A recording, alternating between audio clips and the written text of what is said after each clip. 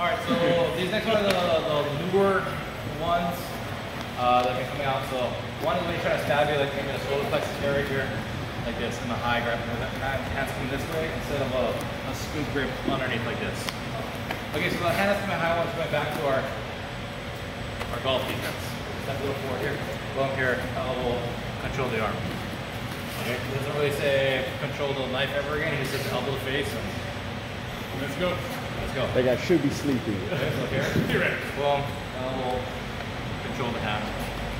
It's just the way it for me. Golf defense. double. Okay. And that's just the front step. Where do you want One, two, three.